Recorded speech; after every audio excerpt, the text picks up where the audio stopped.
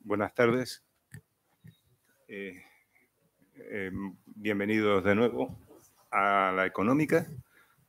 Eh, hoy damos, va, a comenzar la segunda sesión del ciclo dedicado a Nicolás Rubio y Tudri. Y viene, hoy nos acompaña la arquitecta Benedict Leclerc, la coordinadora del ciclo, Flora Pescador, eh, les va a, presentar a la ponente, a la que le damos la bienvenida. Muchas gracias. Eh, pues, Flora, eh, adelante.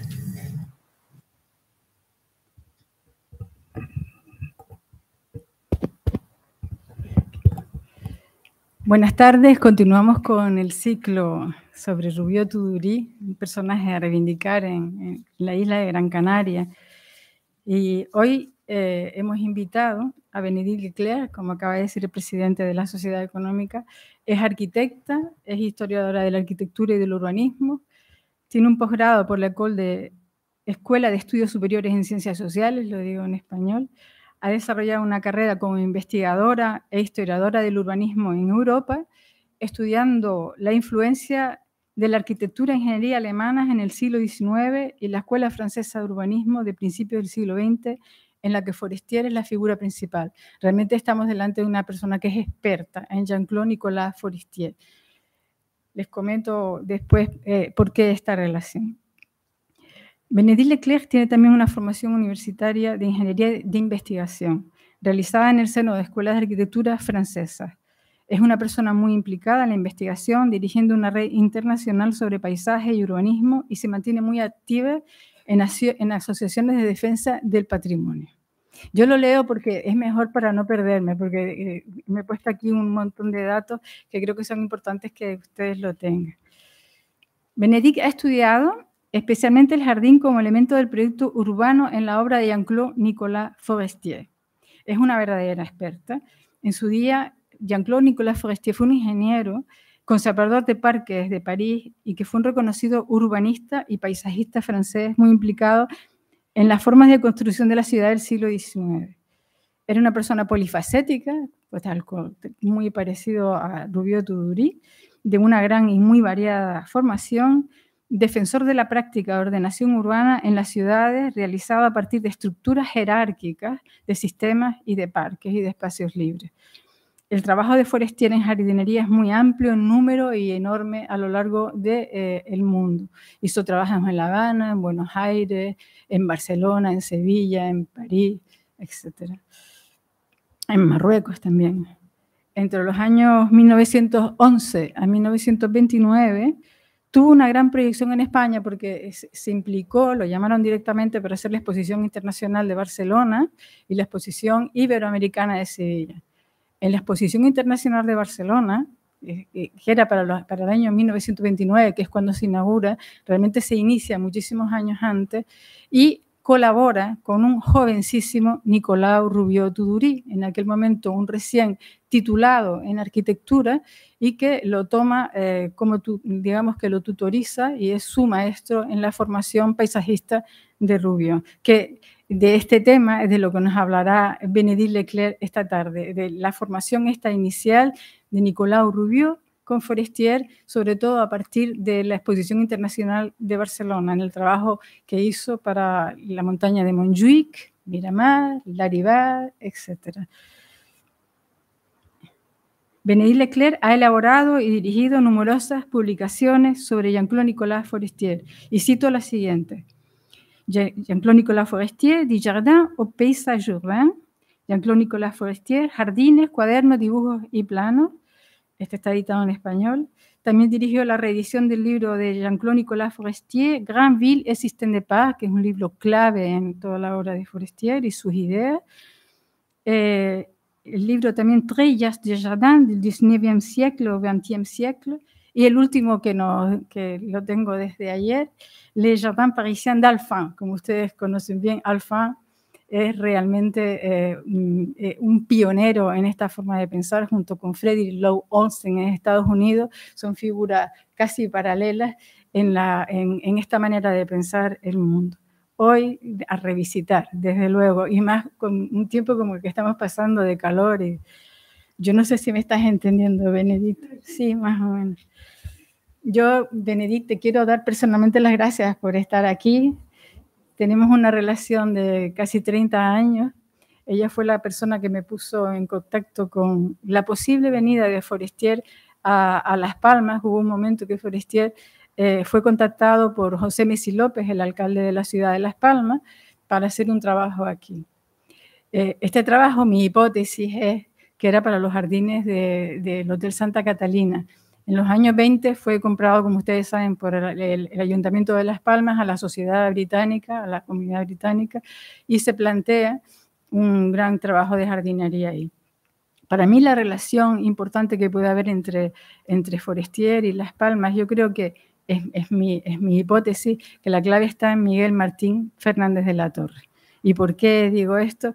Porque es un arquitecto que también se tituló en los años muy parecido a, a, Nicolau Rubió, solo que en Madrid en 1920, y trabajó con otro arquitecto que se llamaba Secundino Suazo Ugalde. Estamos en un edificio diseñado por don Secundino, que estaba aquí. Y en, en los años iniciales de, de, Miguel Martín trabajó en el estudio de eh, Secundino Suazo haciendo trabajo y en aquel momento Secundino tenía un trabajo enorme en la ciudad de Sevilla, un trabajo de crecimiento urbano vecino del Parque de María Luisa en Sevilla.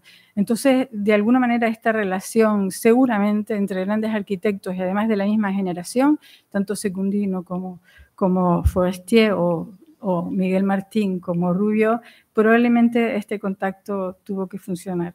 Y a través de, José Messi López y del que entonces era secretario de la Embajada de, España en París, que era eh, Luis Doreste Silva, eh, se pusieron en contacto con Forestier y ella me envió a mí las cartas entre, entre José Messi López y Forestier y cómo se estuvo a punto de venir aquí. Eh, es curioso porque al cabo de los años, en los años 50, luego vino la, Guerra Civil Española, la Segunda Guerra Mundial, al cabo de los años como eh, en el diseño del Hotel Santa Catalina está implicado de nuevo Miguel Martín, bueno, realmente estuvo muchos años implicado en el Ayuntamiento de Las Palmas como arquitecto municipal, y es curioso cómo rediseña el nuevo hotel y rediseña los jardines, y el primer trabajo que hace Rubio eh, aquí en Las Palmas es precisamente una instalación para el, Hotel Santa Catalina.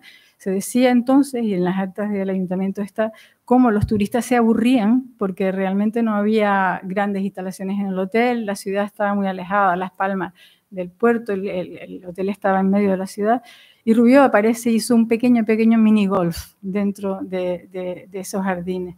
Y, dio comienzo a la relación entre Miguel Martín y Rubio. Probablemente es Miguel también quien lo llame. Y esta es mi hipótesis. Si quieres te lo digo en vitesse. C'est un architecte canadien qui, est venu ici, qui, qui travaille ici, qui s'est formé à Madrid avec un autre architecte qui s'appelait Segundino Suazo.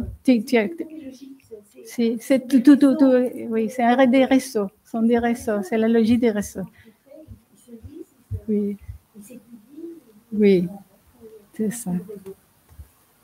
Muy bien, pues entonces le dejo con ella. La, la, la, el título de la ponencia es de la importancia de, la importancia de Jean-Claude Forestier en la formación inicial de Rubio. Muchas gracias.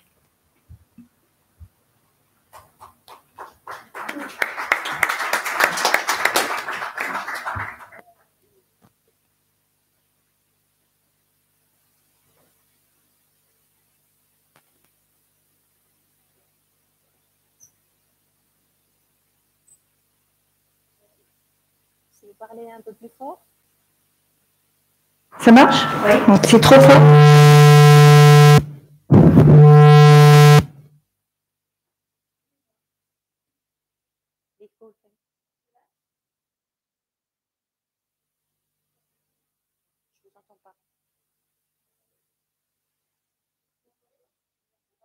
Non, très bas.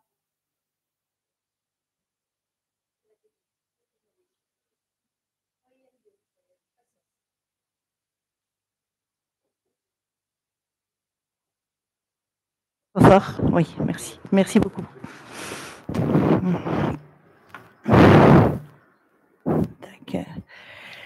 D'abord, je voudrais remercier euh, la Real Sociedad Económica et son président de, son invitation. Vraiment, je voudrais euh, remercier aussi Flora hein, de, de, ce, de cette invitation et de- du cycle sur euh, Rubio.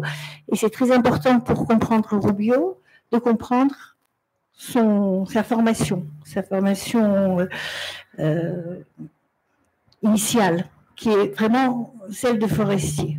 C'est cette, relation que je vais essayer de vous, que je vais essayer de vous euh, démontrer.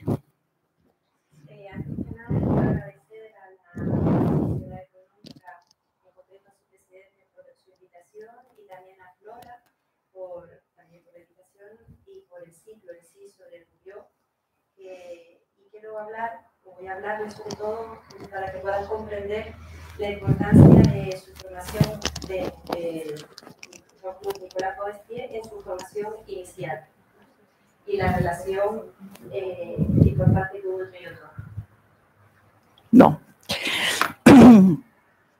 En attirant l'attention sur Nicolas Maria Rubio, qui a œuvré à Las Palmas des Grandes Canarias, et en le situant dans sa filiation à Forestier, ça nous permet de repenser non seulement la restructuration à l'heure actuelle de la ville européenne, à l'heure de l'Anthropocène, mais ça, et, et des changements climatiques importants qu'il y a en ce moment, mais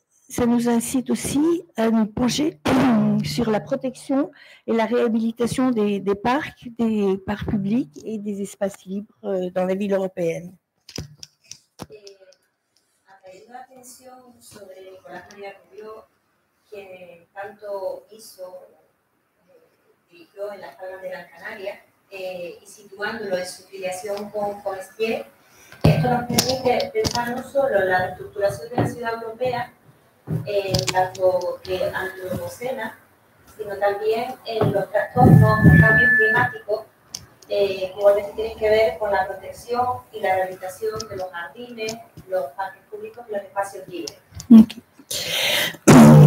Nicolas, Nicolas Maria Rubio reconnaît dans tous ses écrits sur les jardins l'apport de Forestier comme son maître.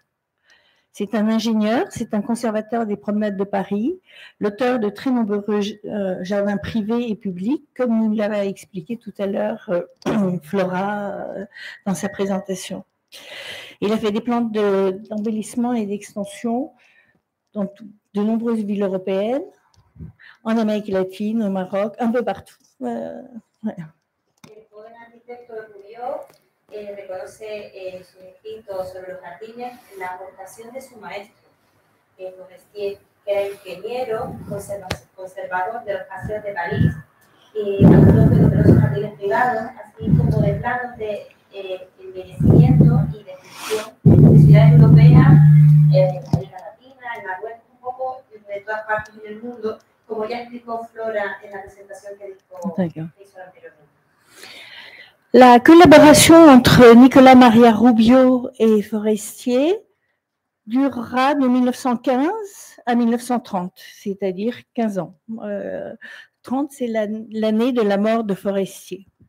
Donc, dans cet exposé que je vais vous faire, je vous propose d'analyser la qualité et les limites de cette relation qui est une relation quasi filiale euh, entre les deux hommes, en la resituant dans le contexte intellectuel, politique et social de l'Espagne à cette époque, et en insistant sur les conditions de l'émergence d'une nouvelle science qui est l'urbanisme et l'importance des espaces libres et des systèmes, de parcs dans cette réflexion sur la ville.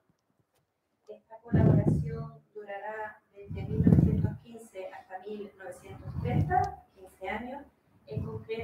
hasta la muerte, el fallecimiento de eh. Y pues, la exposición que voy a hacer se propone analizar la calidad y los límites de esta relación, eh, en el contexto intelectual, político y social de España en aquella época, insistiendo en las condiciones de la emergencia de una nueva ciencia, el urbanismo, y la importancia de los espacios libres y de los sistemas de parque en esta reflexión. Eh, y insiste que tenían una relación filial. Je propose un, un, exposé en trois parties. La première partie, je vais vous montrer les, les projets de Forestier, mais pas pour vous faire un cours d'histoire sur Forestier, parce que l'objet de cette euh, intervention, c'est la filiation de, et la, formation. Mais pour comprendre la formation, il faut comprendre qui était Forestier. Donc la première partie, ça va être beaucoup de plans. Je suis content, vous, vous êtes des architectes, donc vous comprendrez mieux les plans que... Euh, voilà, plus facilement les plans.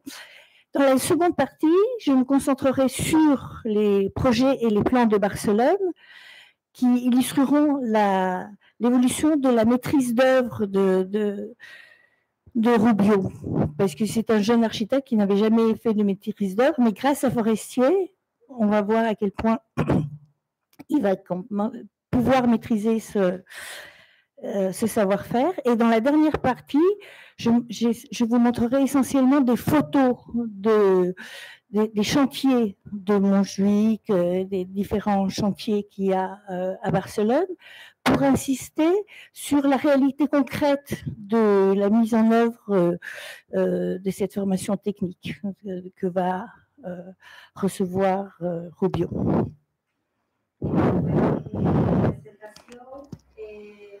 planos eh, que, que, voy a ir desarrollando. En la primera parte voy a hablar de eh, los proyectos. Eh, está bien porque voy a mostrar planos y está bien porque creo que el público tiene numerosos arquitectos y así me van a poder seguir bien, aunque no pretendo hacer un curso eh, de historia, pero sí que necesito ponerle primero los planos de estos primeros proyectos. En la segunda parte lo voy a concentrar en los proyectos en Barcelona, en los que participó Rubio gracias a, a eh, y empezó a hacer pues, de Cristo con lo que sería dirección de obra, entiendo, y empezó a saber hacer gracias a Forestier. En la tercera parte, insisto en, mediante numerosas fotos en su obra, en concreto en Montjuic y más allá de Montjuic en, en Barcelona en general, y quiero insistir sobre la realidad concreta de lo que es la formación técnica de Rubio.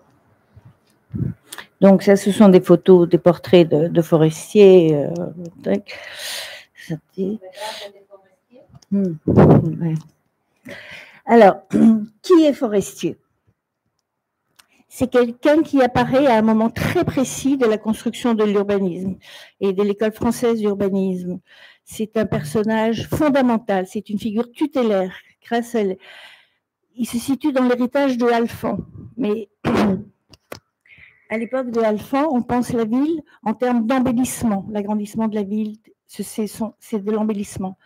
Forestier va renverser ce concept et, participer à de très nombreuses euh, institutions euh, euh, parisiennes pour fonder cette discipline qu'est l'urbanisme et l'école française d'urbanisme. Donc, Forestier travaille toute sa vie à Paris. Il est appelé par Alphand, c'est le successeur d'Alphand. Il est appelé par Alphand et il va rester 40 ans à Paris. Donc, il se situe vraiment dans l'histoire de la transformation de la ville et de Paris, de la transformation de Paris et l'histoire de la transformation de la ville européenne à cette époque-là. Et...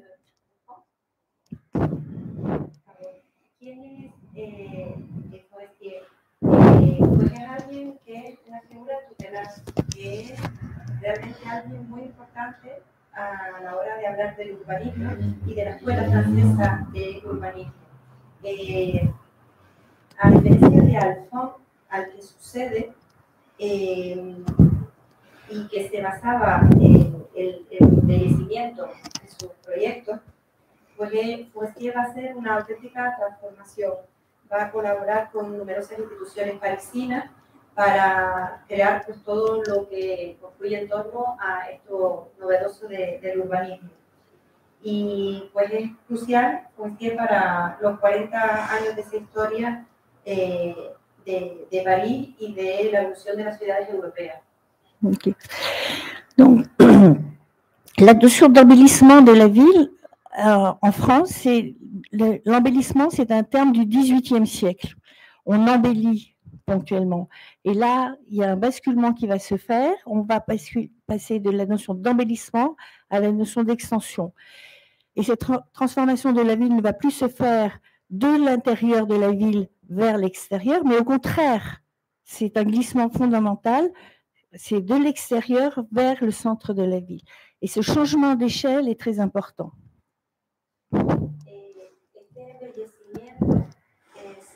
En el siglo XVIII, donde tiene que ver con las ciudades de ese periodo. Y eh, va a haber un, un- digo, va a pivotar el concepto de embellecer a extender y va a pasarse de ver la ciudad que va del interior hacia el exterior a, a un cambio contra- a- al opuesto, a ver del exterior hacia el interior, con un cambio, por tanto, de escala. Compte de la banlieue, les, formes d'extension de la ville à la fin du 19e, début 20e, se font depuis les banlieues et pas depuis le centre de la. le centre. Final del 19, principio del 20 se, fundan, se fundamentan en los suburbios, en las afueras, hacia el interior y no ya del interior hacia el exterior. Forestier place le jardin au cœur d'une vision urbaine. Depuis André Le Nôtre, le jardin, en France, s'est révélé comme un outil de planification et de maîtrise foncière. Au XXe siècle, le jardin ou le parc, né d'un modèle euh, de l'école des beaux-arts, est un moyen de contrôle urbain puissant. de la complexité de la métropole moderne, le jardin est le plus clairement lisible dans l'espace urbain, aux côtés de la voirie dont il dépend. Le jardin dépend de la voirie. C'est- fondamental. es fundamental lo que termina diciendo que el jardín depende de lo que es la red viaria. Y retomo el jardín el jardín se reveló como una herramienta de planificación y de control de la tierra. En el siglo XIX en Francia, el jardín o el parque nace del modelo de las bellas artes. Es un medio de control urbano potente. Eh, desde los primeros instrumentos de organización de la complejidad de la metrópolis moderna, es lo que se, es más claramente legible en el espacio urbano, al lado de lo que sería la red viaria de la cual depende. Donc, cette, pour s'opposer au désordre lié à la spéculation, en s'appuyant sur l'héritage d'un côté de Alphand et en s'inspirant aussi d'un modèle qui arrive des États-Unis par Frédéric Lowe Olmsted, les modèles des villes américaines, Forestier est- devient un ardent défenseur des espaces libres et le premier à énoncer ce concept de système de parc en 1906. Ce système est redéfini comme un ensemble hiérarchisé de réserves foncières qui vont du paysage protégé pour les plus grandes euh, échelles jusqu'au jardin d'enfants. Donc il, décline un ensemble de, réserves foncières qui permettent de maîtriser euh, ce projet sur la ville. Donc, comme je disais tout à l'heure, le rôle de la voirie est très important. Donc, ces jardins, parcs publics, jardins, différentes réserves foncières, sont reliés entre elles par des avenues promenades euh, qui contribuent à mettre en valeur les points de vue dans la ville, les bords des rivières, les paysages intéressants ou pittoresques. Le système de parc, conçu d'abord comme un outil complémentaire au plan de la ville, évolue dans la pensée de Forestier pour se constituer finalement simultanément au plan de la ville, au plan d'extension et d'embellissement. Il définit des zones de construction et un zoning. L'ensemble est fixé par des- des- un corpus d'outils législatifs pour bien le maintenir. para oponerse a el desorden vinculado con la especulación y apoyándose en una herencia alfandina, y inspirándose en un modelo realizado en Estados Unidos por Frederick Forestier, que era un gran defensor de los espacios libres, es el primero en enunciar el concepto de sistemas de parques en 1906, redefinido como un conjunto jerarquizado de reservas eh, en tierra que van del paisaje, desde el paisaje protegido para los más grandes hasta el jardín para niños para los más pequeños. Y estas zonas están conectadas por una red de avenidas paseos que contribuyen a valorizar los miradores, los bordes del río, los paisajes interesantes o pintorescos. El sistema de parques, concebido primero como una herramienta complementaria al plan de la ciudad, evoluciona en el pensamiento de Forestier para constituirse al final en simultaneidad con este plano, definiendo zonas de construcción y también un zoning. Y este conjunto eh, se, queda, eh, se establece en un corpus de herramientas legislativas que lo controlan. Que, c'est les, les, les, origines, ce sont d'abord les, les, ingénieurs allemands qui ont euh, proposé la, les, premiers euh, réseaux de voirie euh, sur le terrain. Ça, c'est Homestead. Le projet de Homestead, Homestead a fait beaucoup de plans euh, aux États-Unis. ça, c'est celui de Washington. En fait, c'est un concept qui, Homestead vient en Europe, Homestead vient en Allemagne, il va en Angleterre et il ramène ses idées aux États-Unis qui reviennent ensuite en France. C'est un système d'échange et de va-et-vient. Donc ça, c'est les origines. Donc voilà, ça c'est le projet de 24 de Forestier pour Paris. De... Pardon. Pas arriver à suivre, désolé. El primer plano que mostraba es en Colonia, en Alemania. Mm. El segundo es de Amsterdam, en Washington, Estados Unidos, ese que están viendo. Y hay como un ir y venir, primero de a, a Alemania y al Reino Unido, o, también visitar sitios de Europa, eh, vuelve a Estados Unidos y luego retorna con estas ideas a Francia. Oui, C'est le plan que Forestier a fait en 24. Je vous ai dit que toute sa carrière, Forestier, jusqu'à sa retraite, travaille sur Paris. Euh, donc ça, c'est les, un des projets de Forestier de réseau de parcs et d'avenues promenades uh, parisien qui va venir. Es un plano de 1924 de una red de, de todo, de parques, de jardines, etc.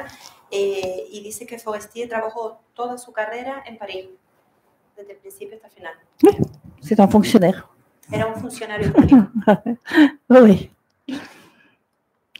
Donc, il est appelé, étant donné son, sa renommée internationale, il est appelé à faire des plans d'embellissement et d'extension à l'étranger.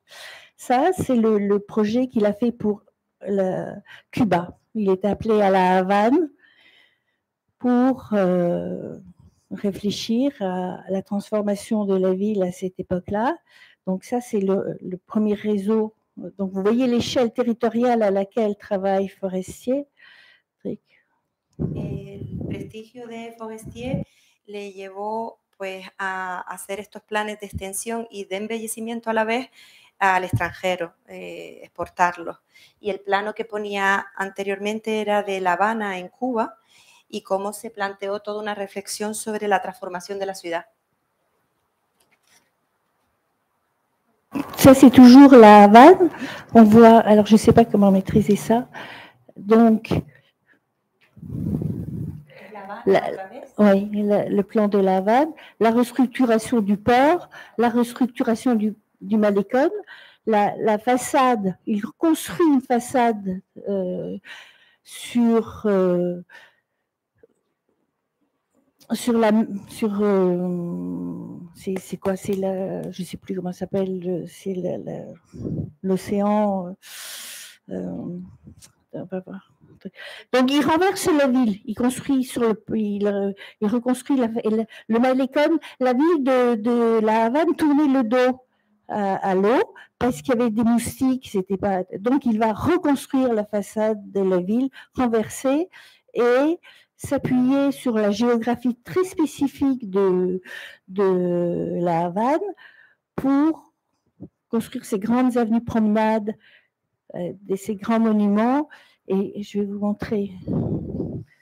Eh, en en ese plano de La Habana se trabajó en una reestructuración del puerto y del malecón que estaba de espaldas al agua, como si dijéramos, de espaldas al mar, porque había también muchos problemas de mosquitos.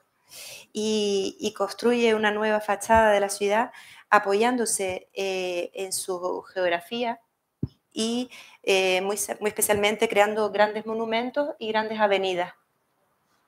Et donc ça, c'est un des, projets de la Havane qui a été partiellement euh, euh, réalisé. C'est- ces promenades euh, descendent. Le projet va être euh, va, échouer, va, pas être poursuivi parce qu'il va y avoir la révolution, donc euh, euh, le gouvernement va être renversé.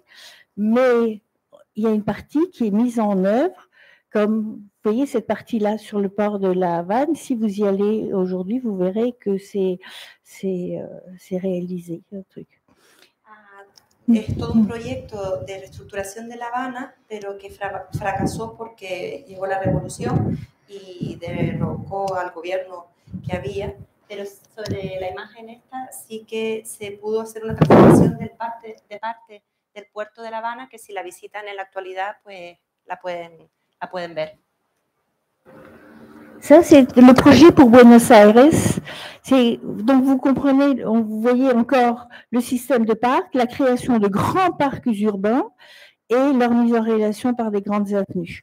Et la façade aussi sur le Rio de la Plata qu'il construit parce que la ville de la ville de Buenos Aires était tournée vers l'intérieur du pays et pas du tout vers son vers son sa façade sur la plata. C'est comme ce qu'il a fait un peu à la Havane, c'est il renverse et à l'heure actuelle cette partie-là a été partiellement construite.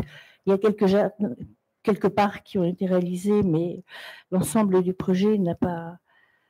En el caso de Buenos Aires, que señalaba se hicieron algunos parques, pero no se hizo todo. Y ven cómo sigue habiendo este sistema de parques, la creación de grandes avenidas. Y lo, lo que hizo fue revertir lo que había. Eh, renverser en francés literalmente volcar, o sea, darle un giro total eh, a la fachada de la ciudad eh, que miraba hacia el interior y girarla hacia el río de la Plata. Vers la Pampa et maintenant elle euh, s'est installée sur le. La ville était tournée vers la Pampa avant et maintenant elle est installée sur le, le Rio de la Plata. La ciudad que estaba orientada hacia la Pampa, pues la redirigió hacia el Río de la Plata. Donc ça c'est un dessin des avenues promenades parce que les projets de forestiers sont très très bien dessinés et sont pensés dans les moindres détails. Et donc la voirie, comme je vous ai dit, c'est un élément essentiel du système de parc. euh, de- et euh, les avenues promenades sont très importantes. Elles sont. eh, como verán, en los proyectos de, de Forestier está cuidado hasta el más mínimo detalle, está todo muy bien detallado y dibujado y ven la importancia que le da a las vías y a las, a las, a las avenidas de estos paseos.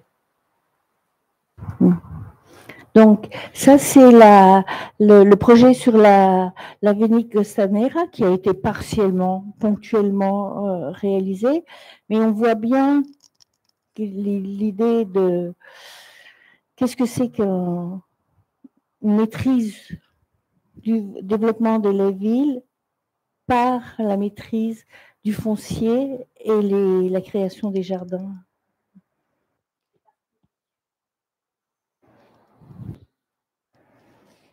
En el caso este de la, en la imagen que ven de la avenida Costanera, eh, que se hizo parcialmente, ven cómo hay un control del desarrollo de la ciudad hacia un control del desarrollo de las tierras y de los parques.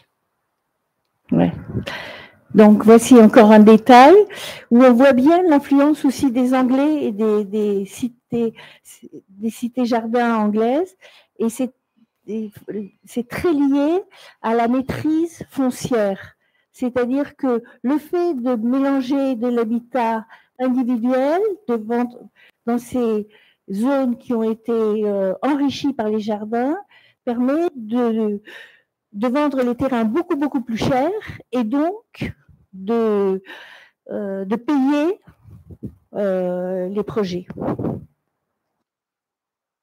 Eh, otro detalle aquí, influencia de la ciudad jardín inglesa, en la que se mezcla habitación, vivienda, mejor dicho, eh, con un enriquecimiento de la zona gracias a, a, la creación de esos jardines y vemos cómo pues, se vende más caro el proyecto y eh, se pagan mejor. Sí. Donc la façade toujours sur le Rio Plata, c'est pour montrer la qualité des dessins de Forestier, euh, les détails. Otra vez una imagen de la fachada dando al Río de la Plata para de nuevo mostrarles la calidad y el detalle del dibujo de Forestier. Ça, c'est un plan pour Lisbonne. C'est la, la, restructuration de Lisbonne aussi, euh, de, qui euh, ne sera pas finalement réalisée mais on voit aussi comment il s'appuie sur la géographie des, des, très, très, très, très spécifiques de Lisbonne et des collines de Lisbonne pour euh, relier euh, des jardins. Il y a une partie qui est réalisée, c'est celle-ci, celle là, un grand jardin. Y, pero que en realidad esta propuesta de reestructuración del Lisboa no se hizo solo la parte que, que marcaba, y vemos cómo se apoya muchísimo en la geografía y cómo mm, gracias a, a, las laderas que tiene Lisboa, pues llega a conectarlas a través de la zona, los espacios verdes, los parques. C'est un détail euh, encore de, de Forestier, de, de, la qualité du travail qu'il faisait. Il remettait souvent des tableaux avec euh, des peintures, avec les détails du, du jardin du travail. Donc là, on voit aussi que la façade, ce jardin est sur une façade sur le Tage. Il se réapproprie la façade sur le Tage dans ce grand jardin public. En este detalle les quería mostrar cómo cuidaba tanto la calidad y los detalles que hacía elaborar cuadros, pinturas originales sobre eh, las obras que realizaba con detalles, en este caso de los jardines, eh, en un ejercicio de apropiación eh, del, del, Tajo, del río Tajo. Forestier a travaillé aussi sur les villes marocaines, l'extension de cinq villes impériales euh, au Maroc. Et donc, la spécificité de, de, de Forestier, c'est de respecter la ville euh, arabe et de construire la ville moderne à l'extérieur de, la ville ancienne, toujours par ce réseau. Et alors que, avant, en Algérie, par exemple, dans les villes coloniales, la ville française qu'on construisait, on la construisait dans le tissu existant. Forestier, lui, ne s'inscrit pas dans le tissu existant, mais construit sa ville à l'extérieur, en, en, respectant la ville arabe. También hizo numerosos proyectos en, Marruecos, en concreto en cinco ciudades imperiales, y lo interesante de su enfoque es cómo respetaba la, la ciudad árabe. Construía la ciudad moderna eh, afuera, en el exterior, dejando en el interior la ciudad árabe. Y esto no era lo habitual, como veíamos, por ejemplo, en Argelia, que cuando Francia eh, hacía trabajos en alguna ciudad, mmm, se metía dentro del tejido ya existente de la ciudad árabe. Ça, c'est le dessin d'un jardin qu'il dessine, qu'il propose à, à, au Maroc. Donc, c'est pour le sultan. Et l'étude qu'il y fait, il va rester plusieurs euh, mois pour étudier les jardins arabes existants. Et c'est une époque très importante parce qu'il va ramener ce savoir Ensuite, à Séville, et on va retrouver aussi des traces euh, à, à, à, Barcelone. C'est comment, comment se construit un jardin euh, avec les différents niveaux d'irrigation, de tous les détails, il étudie. Et regardez aussi ce qui est très intéressant, je le dis parce que vous êtes des architectes, regardez la qualité des dessins de forestiers. Sur un seul plan, il met le plan des façades et, toutes les coupes. Donc sur un seul document, il arrive à donner une foule d'informations. Et les, plans de forestiers sont très intéressants pour ça.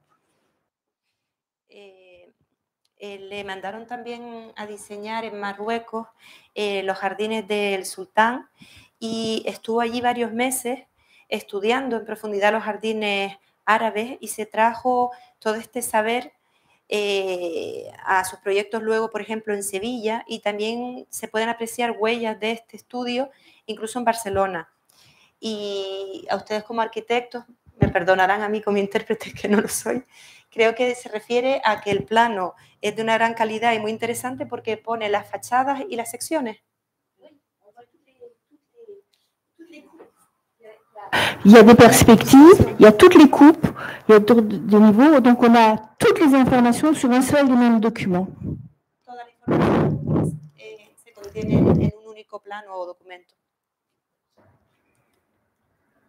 Donc, 1911, il est, il est invité à Séville pour euh, euh, préparer une exposition internationale qui est un projet, qui est l'exposition euh, hispano-américaine. en fait, elle ne sera pas réalisée à cause de la, de la guerre qui va éclater et elle va être déplacée en 1929.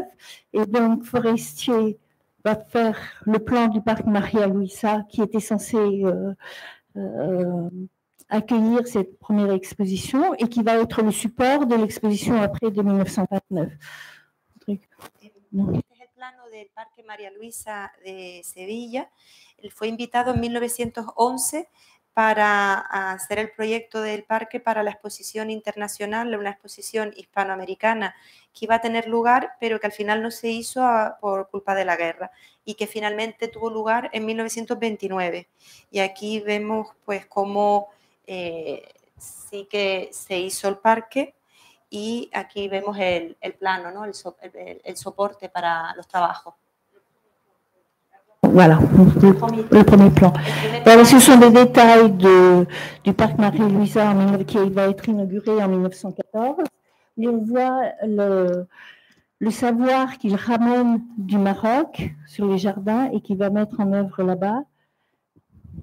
Se puede ver eh, los detalles de ese aprendizaje de, de los jardines árabes en la construcción, en un detalle de la construcción del Parque María Luisa en 1914. Il travaille aussi sur la place euh, San Fernando. Donc, il, peut travailler à différentes échelles. Il change d'échelle régulièrement avec la même qualité, avec le même soin, avec le même sens du détail, avec... Euh, voilà. Donc, euh, c'est un... C'est très intéressant d'étudier ces dessins.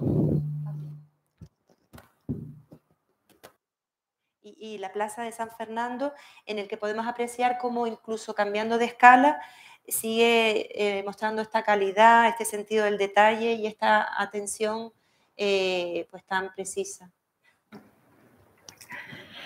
Quand il arrive en, il est appelé en 1911 en Espagne, il va développer une clientèle privée aussi extrêmement euh, importante mais je ne vous présenterai pas les dessins, des jardins de, Forestier, mais c'est pour, juste pour vous montrer le réseau social autour de Alphonse du Roi, de, Alphonse XIII. Il y a une cour euh, et tout le monde, enfin tout le monde, euh, certains membres de cette élite euh, vont demander des jardins que Forestier va réaliser pour un ensemble important de très très très beaux jardins. Euh, euh, mais je ne vous les montrerai pas parce que ce n'est pas l'objet de...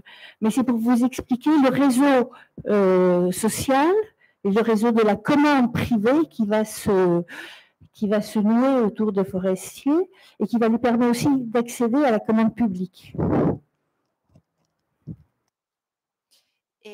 Quiero hacer un, inciso eh, sobre que lo llamaron eh, a España en 1911 y empezó a trabajar para una clientela privada muy importante y subraya la importancia de esa red social pues, que gira- giraba en torno al rey Alfonso XIII y luego pues toda su corte, eh, que eran pues la élite eh, en aquella época, y cómo hizo unos jardines muy muy bellos, pero que no les muestro pues porque no es el objetivo de esta presentación. Pero sí que esto llevó a que a raíz de estos trabajos privados, al final pues le llegaron encargos públicos también. Et puisqu'on parlait de Nicolas Maria Rubio et Tudori, qui va travailler avec Forestier, il va comprendre très bien c'est la fonction dont fonctionne ce réseau social et récupérer des clients de Forestier pour, euh, pour lui ensuite.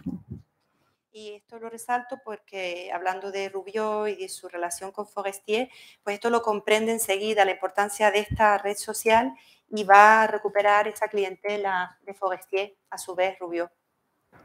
C'est le, jardin pour, euh, en 1911, en même temps que euh, le jardin de euh, Séville, pour Madame de Itourbe, qui est la duchesse de Barcelone à Ronda.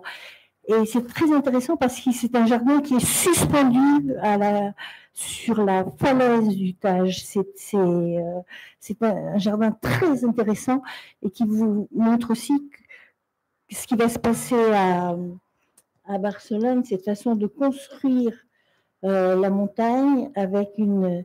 Ça, c'est un jardin euh, à Séville.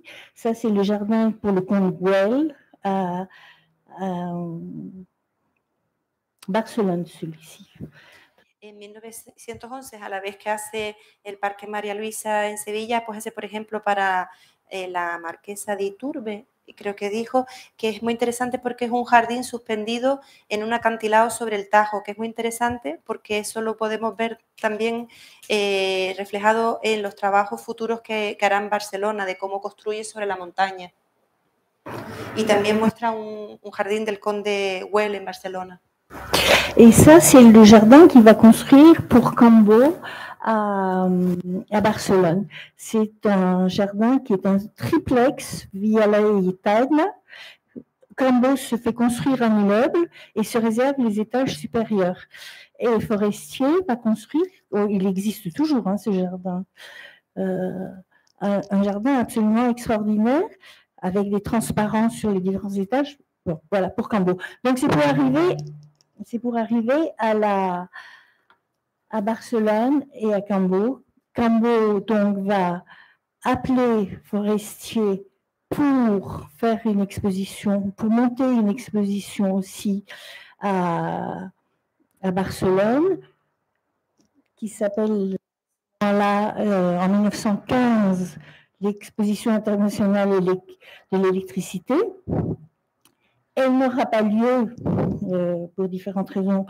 Il y a la guerre et donc on ne peut pas monter d'exposition. C'est la Première Guerre mondiale ce- à ce moment-là. Mais euh, donc, ce projet va se transformer comme le projet de Séville en, en une autre exposition en 1929. Et l'exposition de Comme à Séville sera pour 1929, ce sera la grande exposition internationale de, de, de Barcelone. El plano anterior mostraba eh, pues el jardín privado de Cambó, eh, que sigue existiendo, que es muy interesante por ese juego de transparencias en un edificio de tres plantas en el que se alternan los jardines. Y lo muestro para enlazarlo con eh, cómo conecta con Cambó, un hombre político ca- catalán, eh, jefe de la Liga Regionalista, eh, que tiene grandes proyectos para el renombre de Barcelona en pleno auge económico entre otros con la preparación de una exposición internacional de las industrias eléctricas en 1915, que se transformará en exposición internacional en 1929. Y se trata de transformar Barcelona en una gran metrópoli, en la primera ciudad mediterránea, literalmente, y apoya eh, a Puig y Cadafalch. Es, como hablamos antes en Sevilla, eh, el antecedente de Sevilla en el marco de un proyecto de exposición hispanoamericano previsto en el 14, confiado en 1911. El proyecto en concreto de María Luisa eh, a Forestier en la exposición que se, conviene, se convierte en exposición iberoamericana en 1929. Donc, Cambo va, va rencontrer Forestier à Paris. Il, a, il est, c'est euh, certes qui va présenter Forestier à Cambo. Tous les projets qui ont été, que je vous ai présentés, de Forestier, que Forestier va réaliser à l'étranger, sont commandés à Paris. Toutes ces personnes vivent plus ou moins à Paris. Il y a une communauté espagnole extrêmement importante à Paris. Il y a euh, une élite espagnole qui a, depuis les guerres carlistes, qui a un pied, oh, je suis désolée pour le micro, qui a un pied en Espagne et un pied en France pour pouvoir passer la frontière très rapidement quand il y a des, quand il y a des problèmes. euh, euh, donc, depuis les guerres carlistes, euh, et c'est comme ça aussi que dans le Pays Basque, il y a énormément d'Espagnols qui, toutes toutes ces personnes qui ont des, des hôtels particuliers à Paris, qui ont un pied qui, ce qui va être le cas aussi des, des Rubio. hein. je veux dire, il y a, une élite euh, espagnole installée à Paris extrêmement importante parce que depuis les guerres carlistes, il faut qu'ils puissent passer la frontière et se mettre à l'abri très très très rapidement. Donc, tout à l'heure, j'étais dans la cathédrale de Santa Ana et Santa Ana, il y a le tombeau d'un d'un homme aussi qui est mort à Biarritz. Euh, comment il s'appelle? Oh, Je suis désolée de, mais c'est exactement ça. Il, il, il s'est, je ne sais plus comment il s'appelle, qui est ici dans la cathédrale de Santa Ana. C'est un exemple typique de ce qui se passe dans l'aristocratie espagnole à cette époque-là. C'est-à-dire qu'ils ils ont un pied de chaque côté de la frontière pour pouvoir bouger et mettre leurs biens à l'abri à cause des, des- des événements politiques euh, qui, violents l'histoire espagnole. eh, habla de la relación de Cambó y de Forestier y cómo eh, todos los de Forestier eh, son encargos realizados eh, en París, aunque los proyectos sean en el extranjero. Y habla de la importante comunidad española que está en París desde las guerras carlistas, cómo se concentra ahí la élite del país para estar a caballo, un pie en España y un pie en Francia, para que desde el momento en que las cosas se compliquen, pues puedan ponerse a salvo y puedan poner sus bienes también a, a buen recaudo. Y habla de lo curioso de, ese funcionamiento de la aristocracia española, que se ve también en las viviendas unifamiliares del País Vasco, y lo enlaza con la Catedral de Santa Ana, que intenta acordarse del nombre de un aristócrata que está enterrado allí, que pone que, que, que falleció en Biarritz, pero que no sabe el nombre.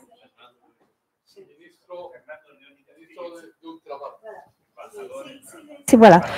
Voilà. voilà. Et il est mort à Biarritz. Voilà, c'est l'exemple typique de, la clientèle de Forestier, hein, de cette, élite. euh, et il y a une autre raison aussi, c'est que Paris a accueilli un nombre très important d'expositions universelles et donc le monde entier s'est rendu à Paris euh, et pour euh, des colloques, euh, des échanges internationaux, des échanges de savoir et tout. Ces expositions universelles et ces expositions internationales ont- sont extrêmement importantes dans la diffusion des savoirs et des techniques à l'époque. Et euh, par exemple, le père de Nicolas Maria Rubio passe extrêmement, ils sont tous très francophiles. C'est tout ce qui se passe à Paris, tout, tout, tout, tout, tout, tout, tout. C'est donc Paris est le centre, entre guillemets, le centre du monde.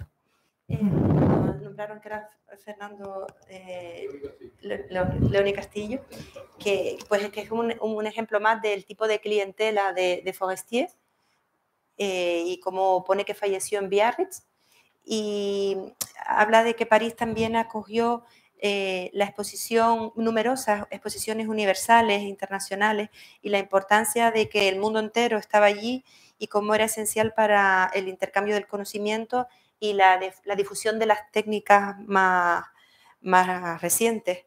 Y habla de que el padre de Nicolau Rubió, Mariano Rubió, pues conocía perfectamente todo lo que se cosía en París, lo que, lo que ocurría allí. Toutes les, toutes les commandes sont passées à Paris. Tout le monde va voir Forestier à Paris. Ils viennent de, La Havane, de Buenos Aires, de, ils se rendent à Paris, passent leurs commandes. Les plans sont faits à Paris, sont faits dans les ateliers de, de Forestier et repartent par la valise diplomatique, par des courriers spéciaux. euh. Donc tous les plans que vous allez voir que Rubio a mis en œuvre à Barcelone sont réalisés, sont dessinés à Paris. Y verán cómo todos los encargos se hacen en París, eh, cómo eh, Forestier trabajaba ahí, en- realiza- realizaba los planos en sus estudios de París y luego estos viajaban pues por correos, por valijas diplomáticas a clientes que podían estar en La Habana, en Buenos Aires y cómo eh, pues Rubió llevaba también estos proyectos luego a Barcelona. Ça, c'est le premier projet de, de Forestier pour euh, Barcelone en 1915. On voit déjà l'idée, mais pour l'exposition électrique. Alors, Cambo est un chef euh, catalan, régionaliste, le chef de la, de la Ligue. C'est un homme politique très engagé, très très très précis dans sa volonté, euh, dans ses, ses objectifs politiques. Et il va s'adresser à euh, Mariano Rubio y qui euh, est le grand ingénieur à l'époque qui travaille sur Barcelone, sur les collines du Tibidabo, qui a des, projets très importants. Donc, Cambo euh, va confier à Mariano Rubio y la charge de, la réalisation de ces expositions. Et donc, euh, qui, Mariano euh, Rubio est aussi engagé politiquement dans les mouvements euh, régionalistes catalans. Toute la famille Rubio est très engagée politiquement. Donc, c'est une société, les projets qui vont se faire euh, ou ne pas se faire entre 1915 et 1930 sont liés à des questions politiques aussi et à des mouvements sociaux, à des, des mouvements très importants. Eh, resalta aquí que Cambó, que confía eh, los trabajos de la exposición a Mariano Rubió y Belver, el padre de Nicolau Rubió, era un político muy, muy comprometido y todos los proyectos que tienen entre 1915 y 1930, pues tienen de trasfondo todo este movimiento re- regionalista y están muy vinculados a la política en general y a todos los movimientos sociales de la época. Mariano Rubio a le même âge que Forestier. Il est né en 62, Forestier est né en 61. Ce sont tous les deux des ingénieurs des ponts et chaussées, des ingénieurs de trucs. Ce sont des hommes qui ont le même âge, qui se comprennent très bien et qui vont très bien travailler ensemble. Son dos hombres, eh, Mariano Rubió y Forestier, de la misma edad. Uno nació en el 61 y otro en el 62, ingenieros de caminos, canales y puertos de, de formación, y se van a comprender, se van a entender a la primera y muy bien. De, de vrais amis, de vrais amis. se transforman en auténticos amigos. Euh, Mariano Rubio a cinq enfants, dont Nicolas Maria, qui est euh, l'aîné. Tous les enfants sont des ingénieurs, des architectes, des gens très engagés politiquement aussi, et dans des projets euh, d'architecture, de, de réseau sur le métropolitain. de- ce sont des, des- des personnes qui ont une clientèle très importante de travaux publics, très importante. Et le frère de Mariano, qui s'appelle John Rubio y Belver, c'est aussi un très grand architecte euh, catalan. C'est le mouvement noucentiste de l'époque. Et donc, c'est aussi des gens qui sont très euh, engagés dans la forme de, de leur projet. Mariano Rubio eh, tuvo cinco hijos que eran pues, personajes importantes, ingenieros, arquitectos, y todos estaban muy co- comprometidos a nivel político y tenían proyectos muy grandes eh, para la red metropolitana, una clientela eh, que les, les proporcionaban cargos públicos.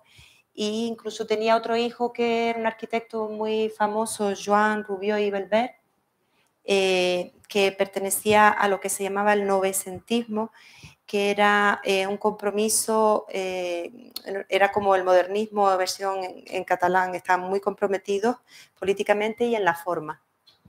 Mais hum, ce sont des gens qui sont extrêmement cultivés et qui sont parfaitement francophiles. Son gente extremadamente culta y muy francófilos. Donc les relations vont se faire en français. Le travail va se faire en français. Trabajo, Eh. por tanto, va a ser en francés todo el tiempo. Le, donc ça c'est Nicolas Maria.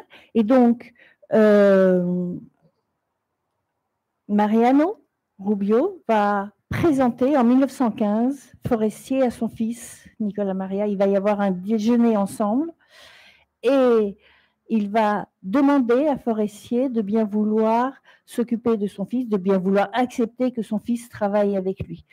Euh, Nicolas Maria n'est pas encore diplômé, et c'est un architecte qui n'est pas encore diplômé, qui va se diplômer rapidement, mais euh, Forestier accepte, et c'est là, en 1915, que va commencer cette collaboration euh, entre, euh, entre les deux hommes, et qui nous intéresse aujourd'hui et qui est le sujet de...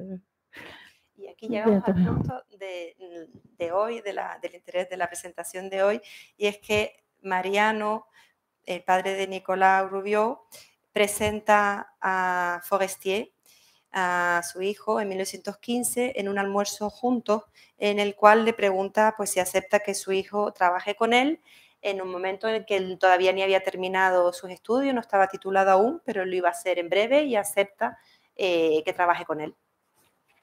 Et donc, c'est une, une relation à trois qui va se, comment, qui, qui se, qui va se lier.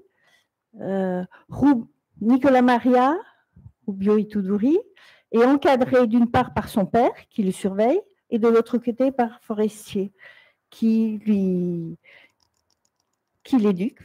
Tous les deux, il est, il, est, encadré par ces deux hommes qui sont qui ont tous les deux le même âge, 54 ans, qui sont, voilà, qui sont ces deux pères qui vont le conduire jusqu'à jusqu'à son indépendance. pues se va a encontrar Nicolau con dos padres, de los dos de 50 años, en una relación a tres. Eh, una de su padre que lo vigila y en la otra parte de Forestier. Euh, Nicolas Maria a 24 ans. Y, y Nicolau tiene 24 años en la época. Donc, c'est une relation entre Forestier et Nicolas qui va durer 15 ans jusqu'à la mort de, de, de Forestier de 1915 à 1930. Por lo tanto, es una relación que va a durar 15 años, de 1915 a 1930, hasta el fallecimiento de Forestier.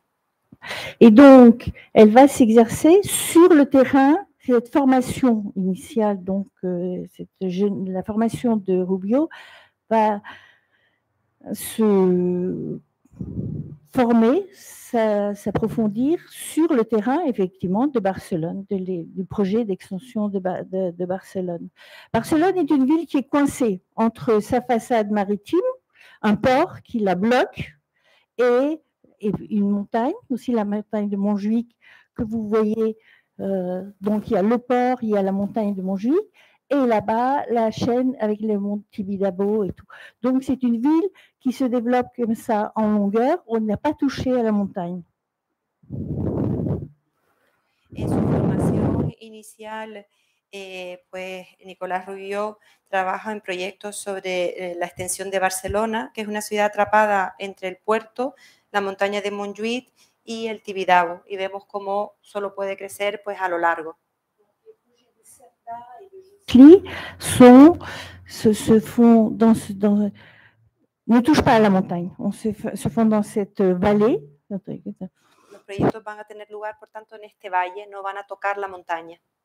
Et donc, Forestier va attaquer la montagne. Y lo que va hacer Forestier es atacar la montaña. Donc, donc, on va urbaniser, on va créer des jardins dans la montagne, d'abord vers la ville et ensuite vers la, la façade sur le port. Donc, il va y avoir différents projets qui vont se faire sur le long terme en fonction de l'achat des terrains. euh, sur euh, cette ouverture grâce au jardin et au réseau du système d'espace vert de- sur la transformation de, euh, de la ville.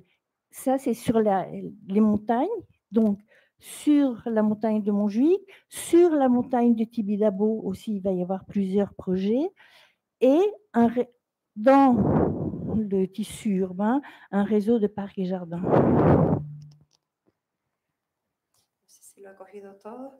Pero eh, va, por tanto, Forestier a crear jardines en la montaña, hacia la ciudad y luego también hacia el puerto.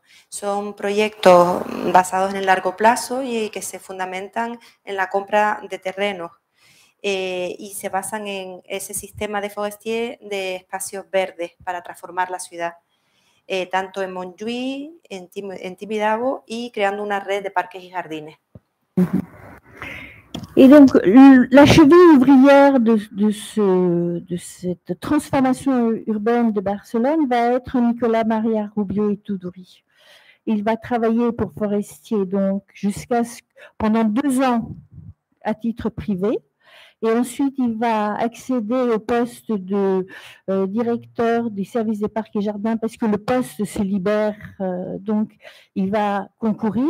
Et c'est Forestier qui va faire son, dossier, c'est Forestier qui écrit, qui, rédige toutes les lettres pour lui, qui rédige tous les rapports. C'est Forestier qui protège Nicolas Maria et qui, euh, et qui le protégera pas seulement pour l'architecture, hein, pour euh, ensuite euh, pour ses livres, pour ses, ses folies euh, euh, diverses. euh, il sera toujours protégé par, par Forestier.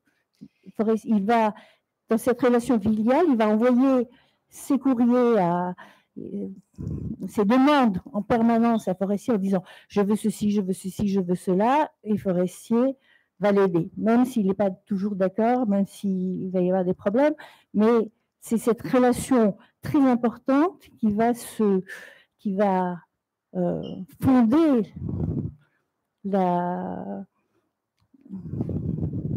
qu'on demandait, ce que vous me demandiez, euh, euh, qui est la construction, la construction de, de Nicolas, du savoir, du savoir de Nicolas Maria Rubio et Tudori.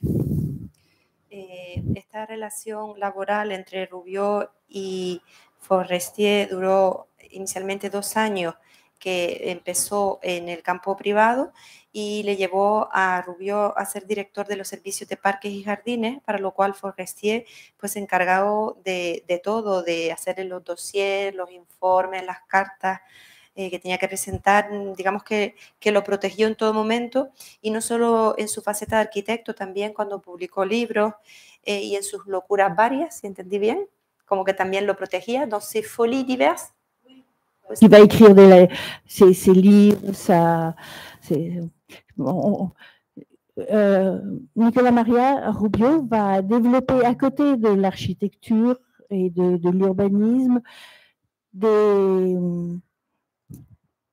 passions pour l'écriture, pour la poésie, pour euh, la sculpture, euh, euh, voilà. Donc, euh, que tenía un lado polifacético y, y a través de no solo la arquitectura y el urbanismo, también escribía poesía, esculpía.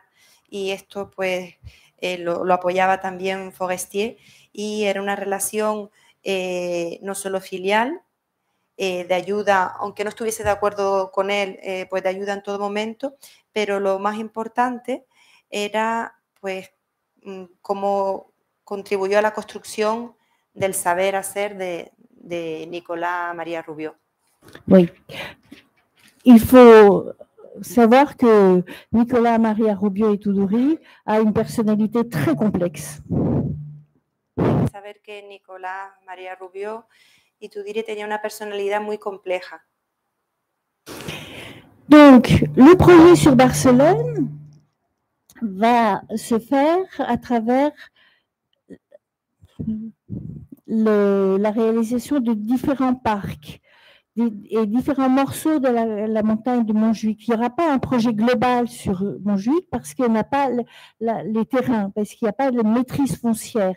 Donc, au fur et à mesure de l'achat des parcelles, on va donc euh, Forestier va être chargé de faire des projets de morceaux de montagne. C'est comme un puzzle qu'il va falloir après mettre, euh, mettre en réseau. Donc, euh, voilà, il y a le parc de la Citadelle, le, parc de Montjuic, le parc de Guinardot, la fonte de Boudela, Boudelera. Truc. Et, euh, Nicolas euh, Maria Rubio va poursuivre depuis l'intérieur de, de la de l'administration cette politique d'achat euh, des terrains. Un voilà. que mm, en los proyectos en Barcelona pues trabajan en distintos parques eh, que son en diferentes fragmentos de la montaña de Montjuic que van a ir surgiendo en función de la compra de parcelas. Y eh, en base a ello pues Fo- Forestier va a ir haciendo los proyectos que se van a, a conformar pues como si fueran un puzzle que terminarán conectando. Y eh, mm, va a trabajar también en el interior de la administración eh, a nivel político para permitir la compra de estas parcelas. Parce que pour, pour, un- un- les, conditions d'un bon projet, c'est une volonté politique, c'est de l'argent, de la maîtrise du foncier et puis un, très bon concepteur.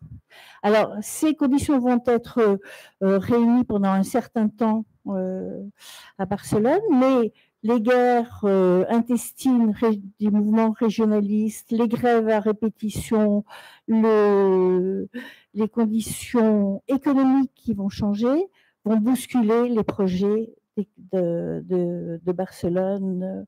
Et cette histoire de 15 ans entre 1915 et 1930 euh, de, Nicolas Maria Rubio et Forestier va être impactée par ces différents événements. Para eh, que un eh, proyecto salga bien, pues numera cuatro condiciones. Tiene que haber voluntad política, eh, control de las tierras, un presupuesto proporcional y, eh, y un buen profesional. Y estas condiciones se van a deteriorar eh, en el caso de Barcelona, pues debido a huelgas continuas, las condiciones económicas que empeoran, la guerra, y pues esto que duda cabe va, va a trastocarlo todo y eh, va a tener pues mucho impacto a lo largo de estos a- 15 años que van a transcurrir eh, de relación entre Rubió y Forestier de 1915 a 1930. C'est- Ce sont des, deux livres où l'un Forestier a, a exposé sa théorie sur Grandville et ses- concepts en 1906 et en 1926, Rubio à Barcelone va s'inspirer largement, et c'est Forestier qui va écrire des, passages entiers du livre de, Rubio euh, pour, sur pour expliquer ce que c'est que euh, ce concept de, des.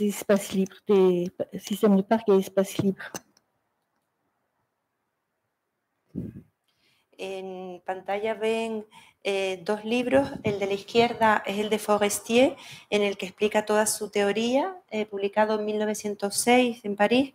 Y luego a la derecha ven el de Rubió en Barcelona, inspirado tanto es así por Forestier que, Forestier escribió partes enteras de este libro publicado en 1926 en el que pues, se desarrolló eh, todo el concepto del sistema de parques y de espacios libres.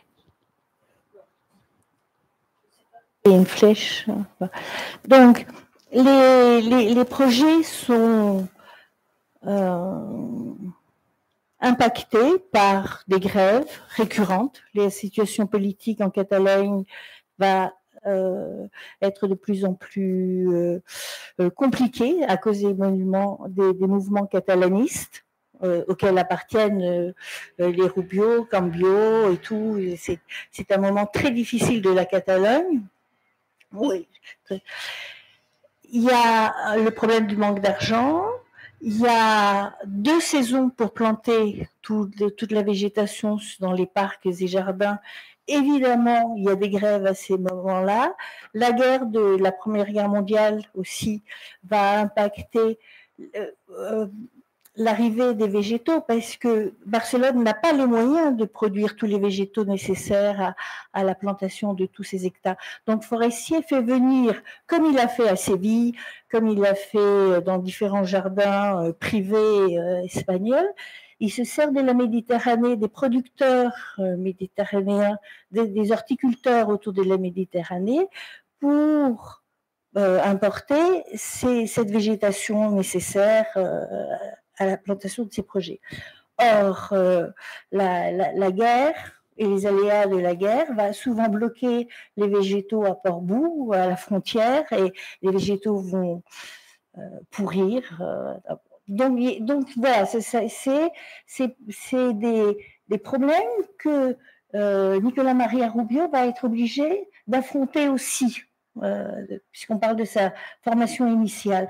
Donc c'est quelqu'un qui confronté à de nombreux problèmes à résoudre. Et.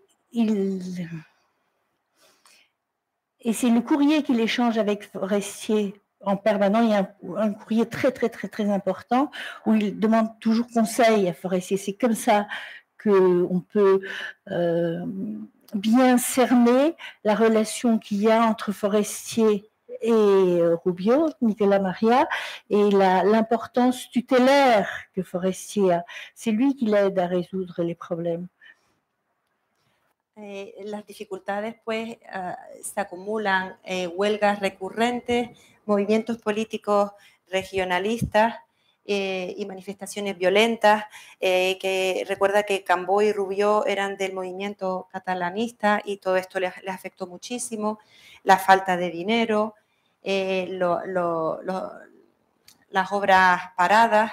Eh, también habla de la importancia de que hay que tener en cuenta eh, dos estaciones para la siembra y que muchas veces estos dos momentos puntuales pues se veían comprometidos porque habían huelgas o porque las plantas, los vegetales que había que, traer porque no había, no, había suficientes in situ, pues se veían con bloqueos, por ejemplo, en el puerto en Portbou y llegaban a perecer antes de llegar a, destino.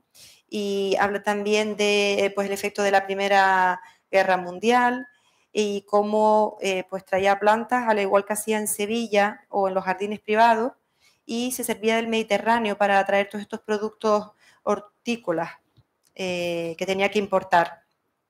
Vemos como Rubio tiene que enfocar, eh, enfrentar, por tanto, eh, distintos problemas en esta formación mm, inicial y cómo son interesantes todos los correos que se envía con Forestier, al que siempre pide consejo, y cómo se puede apreciar eh, esta relación tutelar entre, entre ambos arquitectos. Dans tous les projets, la de tous les projets de forestiers, il est entouré par des équipes d'architectes. Il ne veut que des architectes autour de lui. Euh, par exemple, Vin va euh, le contacter en disant qu'il veut travailler pour lui. Et est un peintre et le Forestier lui répond très gentiment, mais en disant je ne travaille qu'avec des architectes. Donc, à Barcelone, il y a Nicolas Maria Rubio, il y a Ramon Reventos et il y a un autre euh, architecte qui s'appelle Aveliano, mais qui va décéder, euh, qui va mourir rapidement. Truc. Et euh, le, les relations entre euh, Ramon Reventos et qui est architecte aussi de l'exposition de 29 sont excellentes. Avec Nicolas Maria, le caractère de Nicolas Maria Rubio est un peu plus compliqué. Donc, euh, on voit dans les, courriers, euh, c'est différent. On peut noter euh, des traits de caractère de Nicolas Maria Rubio Itudori qui vont s'accentuer ensuite.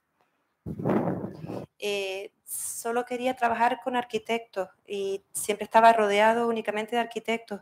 Cita al pintor Vin Tuisen, al que no aceptó, que se lo pidió educadamente, pero no, no, quiso trabajar con él. Y en Barcelona tenía una red constituida por Rubió, Reventós y Avellano. Eh, con Reventós tenía una relación excelente a raíz de la exposición de 1929. Avellano falleció pronto y con Rubió pues era eh, difícil porque tenía un carácter más complicado que se ve reflejado en, en, los correos y vemos cómo esos rasgos complicados pues se van acentuando con la edad.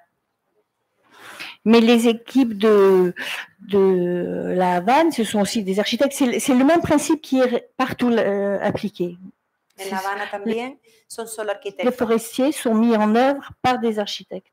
Todos sus proyectos los eh, pone en marcha eh, equipos de arquitectos. También, por ejemplo, en La Habana. El mismo.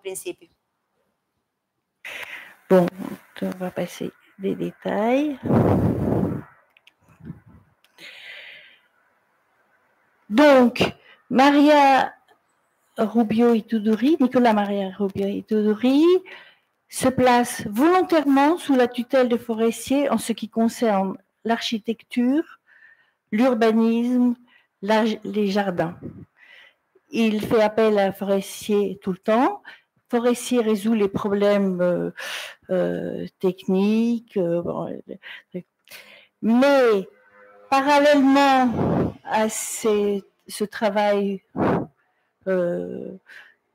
d'urbaniste, Nicolas Maria Rubio et Tudori va développer d'autres caractères de sa personnalité. Il va écrire des livres, il va faire de la céramique, il va euh, euh, s'engager dans des discours politiques, dans des revues, la création de, revues, d'articles. Il va s'engager dans des, un engagement politique qui va qui va l'exalter, qui va le, le l'amener vers d'autres objectifs. Eh, pues Rubio se sitúa bajo la tutela de Forestier como arquitecto, como urbanista para la creación de jardines al que va a llamar siempre ante cualquier problema técnico. Pero en paralelo también eh, va a trabajar, aparte en estos campos, en otros, como por ejemplo en la escritura de libros, creo que dijo en la cerámica, y se va cada vez meter más en el discurso político de la época. Va a eh, dedicarse a la creación de revistas, a escribir artículos en ellas y eh, se va a meter eh, cada vez más en compromisos políticos que lo van a exaltar y que van a hacerlo un poco cambiar los horizontes. Et le mouvement euh, noussantiste, okay, le mouvement euh, catalaniste, cherche un retour, s'appuie sur un retour à la Grèce ancienne, à, et se construit un discours de plus en plus radical que va adopter euh, Nicolas Maria Rubio et Tudori. Donc, il va euh, développer l'idée du, jardin euh, latin. Et plus Forestier va parler du jardin méditerranéen, plus Rubio va parler du jardin latin. Et on voit à quel point la politique et l'exaltation euh, de, de Nicolas va l'éloigner de Forestier. Forestier est un homme, un, Français cartésien, et a du mal à comprendre ces mouvements catalanistes et tout. Et on voit qu'à ce moment-là, les deux hommes se séparent intellectuellement. vemos que el novecentismo, eh, que eh, aboga por un retorno a la Grecia antigua, se introduce cada vez más en el discurso de Rubió, que se vuelve cada vez más radical y que se va a ir desviando hacia la idea, por tanto, del jardín latino, eh, que se separa del jardín mediterráneo que defiende Forestier. Y vemos cómo, por tanto, la política aleja cada vez más a los dos hombres, ya que eh, Forestier es como, muy cartesiano eh, y no entiende bien esa incursión en la política y ese catalanismo tan profundo que sintió en aquel momento Rubió. Y eso pues los separa, los termina separando intelectualmente. Bon, quand euh, Forestier meurt euh, en 1930, Rubio a 39 ans. Donc l'influence de Forestier, elle est entre 24 et 39 ans. ces 15 ans-là, c'est à ce moment-là que l'influence de Forestier est fondamentale pour son, impact dans l'urbanisme, dans, les, jardins, dans le développement de Barcelone. Et euh, Nicolas Maria Rubio ne reviendra plus après l'exil, après au jardin public. Il restera dans des jardins privés, des petits jardins privés, et euh, changera complètement de mode de vie, de clientèle, et sera protégé dans cette euh, dans, dans, dans, ce choix d'une clientèle aisée qu'il connaît bien euh, et ne, ne s'engagera plus jamais dans des grands projets de parcs publics, des parcs urbains qui n'ont pas du tout la même fonction, qui n'ont pas le même usage. Et eh, entonces, eh, llegamos a 1930 al fallecimiento de Forestier y vemos pues que la influencia En Rubio, pues ha durado 15 años que van desde los 24 hasta los 39 años de Rubio y que ha sido, por tanto, una, influencia fundamental para él. Eh, no solo un impacto en el urbanismo, en sus jardines, en el desarrollo de Barcelona, eh, sino eh, luego tras su exilio, pues se dedica más a, a los jardines privados, ya no trabaja tanto en encargos públicos, hace un cambio de cliente, incluso un cambio de vida, y así se siente más, más protegido y no se mete ya más en grandes proyectos de jardines. Nicolas Maria Rubio Ituduri a appris à travailler à la grande échelle, sur la grande échelle avec Forestier. Il n'y reviendra plus, sauf dans le cas des, de, des projets sur les Grandes Canaries sur l'isla des Grandes Canarias, où on retrouve la trace de la trace de forestier. Ce ne sont pas les jardins, c'est pas l'éducation de forestier, c'est la trace de la trace. On peut reconnaître la trace de la trace sur ce qui se passe à, aux Canaries. Y aquí donde vemos que eh, Rubio, eh, esta gran escala que trabajaba con Forestier, ya no la trabajó más, salvo precisamente en los proyectos en Gran Canaria que se puede ver la huella de la huella de estos jardines. De, de cette oui. Donc, l'alcalde de, des, des, Canaries, de, de, Las Palmas, avait pris contact avec Forestier pour lui demander un plan le 21 septembre 1923. El alcalde de Las Palmas contactó con Forestier para pedirle un plano en 1923. Hay et importante le, la fecha, sí, el 21 de septiembre. Et le 23 septembre, Primo de Rivera prend le pouvoir. Y Primo de Rivera toma el poder el 23 de septiembre. Et Primo de Rivera remercie Forestier. Et Forestier ne travaillera plus à Barcelone de 1923 à 1926 parce que Primo de il est congédié il est congédié simplement. Et en 1926, Mariano euh, Rubio y Belver fait revenir euh, Forestier pour terminer la réalisation des jardins pour l'exposition de 29. Donc, euh, le projet de- des Canaries, de Grande Canaria, s'inscrit dans ce moment de rupture politique aussi. Et Rubio, qui a repris euh, dans sa clientèle privée des clients de forestiers comme le comte Güell, comme le, marquis de Peñaranda sur à la Orotrava et tout. Ce sont des clients de, forestiers qui passent après à Rubio. Et donc, donc là, vous avez la lettre de l'alcalde qui invite Forestier, Forestier qui répond que oui, qui va, qui va venir, qu'il euh, qu'il est, en, il est en route pour euh, Buenos Aires et la Havane, mais qu'au retour, il s'arrêtera. euh, bon. Y, y Forestier contesta que sí a esta carta del alcalde, que cuando vuelva de Buenos Aires y de La Habana, pues vendrá aquí a Gran Canaria. Y hace un recorrido también diciendo que pues Primo de Rivera eh, pues, lo despide y está sin trabajar del 23 al 26.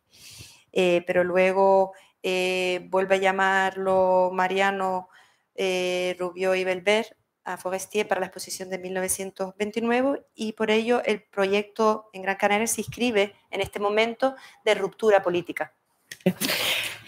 Je vais vous montrer plusieurs euh, dessins de jardins maintenant de euh, forestiers pour Barcelone, mais je ne vais pas les expliquer parce que dans 15 jours, il y a une femme, il y a quel- vous allez avoir une conférence sur le travail précis de Rubio euh, à Barcelone.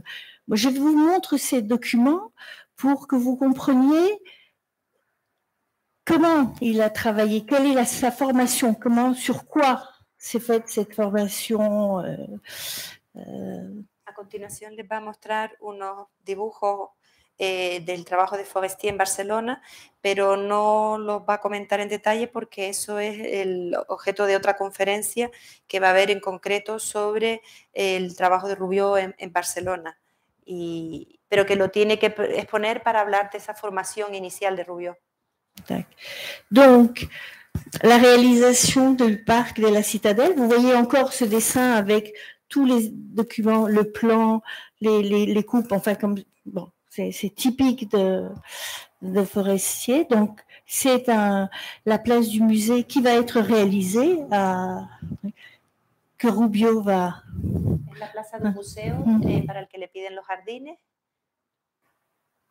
Y como ven, siempre el detalle de las fachadas y las secciones en su detalle, habituales Forestier.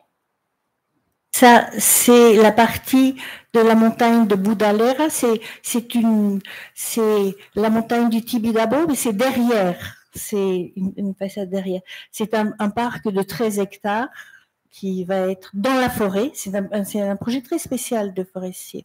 Este especial dentro, que se inserta dentro de un bosque de 3 hectáreas que está detrás del Tibidabo. Ça, c'est le parc de Guinardo. C'est aussi une partie de la montagne euh, du Tibidabo plus à l'est. Un truc euh, où tout- il y a ce travail sur la ville, l'ouverture sur la ville, des promenades publiques sur la ville, euh, qui est très intéressant. Está todo el tema de los paseos con apertura hacia la ciudad y este en concreto es en la parte más al este del Parque Tibidabo.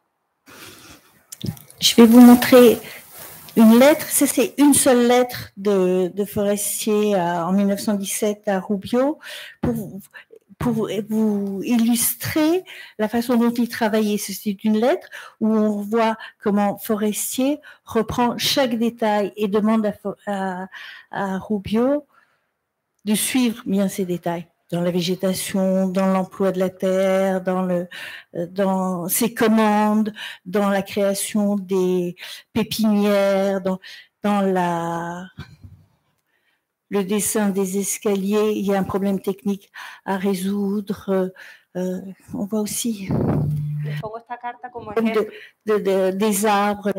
Donc, c'est un. Forestier contrôle tout. Forestier et Nicolas Maria euh, fait ses classes. Él es- está como dando una clase Eh, Esto es un ejemplo, viendo esta carta del año 27, creo que dijo, en la que se ve que Forestier lo controla todo hasta el más mínimo detalle. Habla de la vegetación a utilizar, la tierra, los pedidos, el diseño de una escalera, detalles muy concretos. Hace hasta dibujos, como veían, de los árboles, del trabajo en los viveros, etcétera. Ça, c'est le, un, un dessin pour euh, le bas de la colline de Montjuic, le parc Laribal. Ça, c'est des dessins sur les liaisons qui vont être créées entre les différents jardins sur la montagne. Euh, Ce travail, tout ça, ce sont des dessins originaux de Forestier. Son originales de Forestier. La voirie aussi, les problèmes de voirie, Suele La poner la- question de l'électricité et tout. La fonte Delgat, la fonte Delgat va poser des tas de problèmes euh, euh, à résoudre. Ça va être un moment de discussion importante. La fuente esta del GAT fue un, un motivo de, de disputas con mucha tensión para resolver varios problemas que tuvo. C'est la, la façade de Miramar. De Miramar, Ça, c'est voilà, c'est- ça c'est un, un projet doucentiste pour sur euh, voilà ce qui se faisait à, à Barcelone, ce qui se projetait à Barcelone euh, sur euh, à ce moment-là. Et voilà ce qu'on a fait Forestier, ce que a proposé et qui va être réalisé. Lo primero es lo- un ejemplo de una propuesta novecentista para proyectarlo en Barcelona y en los segundos lo que realmente eh, propuso Forestier.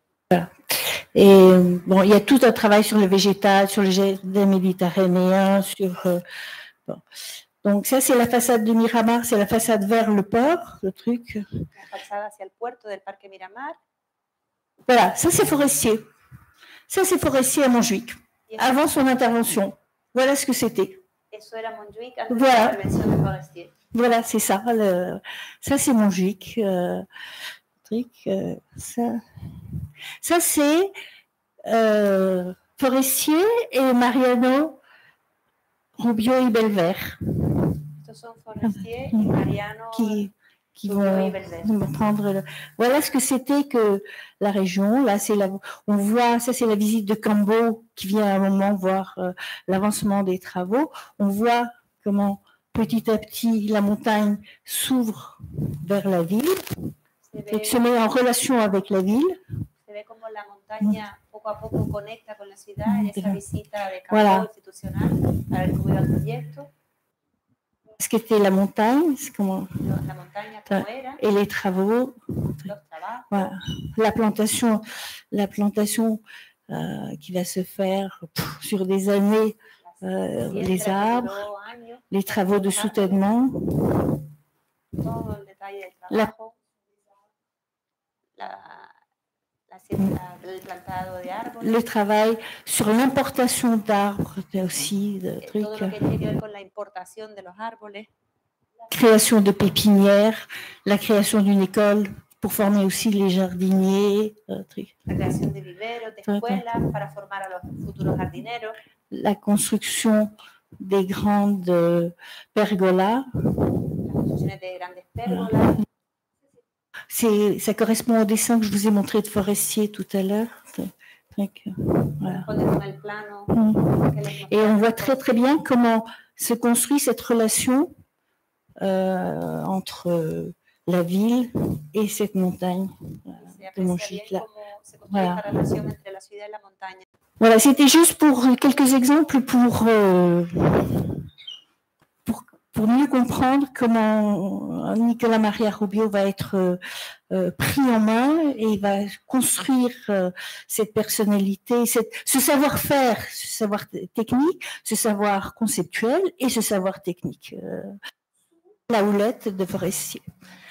Ça, c'est juste pour terminer pour... euh, ça, c'est juste pour terminer. For- Forest, euh, Nicolas Maria Rubio et Tudori a ses amis catalans de l'école des beaux-arts, qui sont quasiment tous en exil à Paris, qu'il va voir, avec lesquels il va faire euh, des petits jardins euh, euh, en céramique. Donc c'est Rubio, Raoul Dufy et Artigas. Artigas était à l'école avec lui à, Barcelone, cette école que Primo de Rivera va faire fermer. Et puis, vous voyez les petits jardiniers devant, là, avec leurs petits pots. Mais je ne vais pas parler de ces jardins non plus parce que vous allez aussi avoir une conférence sans doute. Donc ça c'est voilà voilà la une des passions de de, Nicolas qui demande à, à essayer de faire des articles dans les revues américaines pour euh, diffuser le euh, et il dit c'est moi qui les crée c'est moi qui les ai créés ce sont des jardins japonais Forestier n'apprécie pas du tout. Il fait effectivement un article dans House and Garden euh, aux États-Unis, mais il écrit bien dans son article que ce ne sont pas les jardins japonais. Un truc. Voilà. Et l'article est lu au Japon, et il y a une lettre incroyable de Nicolas Maria Rubio Itudori qui, qui exulte qui déborde d'émotions parce que cet article va être lu au Japon et il y a un japonais qui va prendre le transsibérien, qui va traverser toute l'Europe, qui va venir à Barcelone acheter un de ces jardins. Et donc, Nicolas écrit une lettre incroyable à Forestier pour le remercier. Lui écrit des grandes poésies pour. Voilà. Voilà un des traits de la complexité de, la personnalité de Nicolas Maria Rubio Itudori. C'est un homme très riche. Je vais essayer de, resumer un peu, j'espère vous suivre. Algunos ejemplos eh, del saber eh, hacer de Rubio, eh, tanto técnicos como conceptual, eh, siempre bajo la, la batuta de, de, Forestier. Y la imagen de eh, Rubió en el centro con los cuatro compañeros exiliados en París y cómo se ven esa, ese jardín de cerámica eh, y esas macetas ¿no? de cerámica. Eh, varios de esos amigos, no recuerdo ahora los nombres, estaban en escuelas que estuvieron juntos, que Primo de Rivera Artigas cerró. Y luego habla también de cómo se puso también a hacer jardines japoneses y le pidió a Forestier que escribiera sobre ello en revistas americanas y, cuenta pues cómo, aunque Forestier no lo aprobaba, pues no estaba muy de acuerdo, no decía, decía, que no eran japoneses, pues sí que le siguió un poco el tema y lo escribió. Y además Rubio recibió luego una carta de un japonés que cogió el transiberiano para llegar hasta Barcelona y comprarle un, un proyecto de jardín, lo cual lo entusiasmó, le escribió poemas a Forestier y lo cuenta para mostrar un poco eh, esos rasgos tan complejos de la personalidad de Rubio. Voilà, c'est très succinct. C'est l'origine de. Voilà.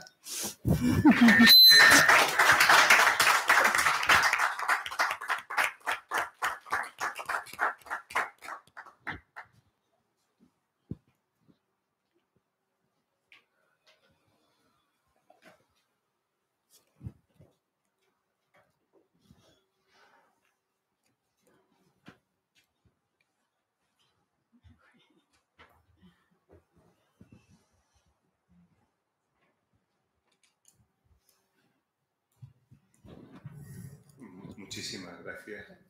Eh, vamos, para los que somos eh, realmente eh, legos, este, la audiencia de arquitectos, pero hay algunos que no son arquitectos y además, pero muy aficionados a la jardinería y que la viven.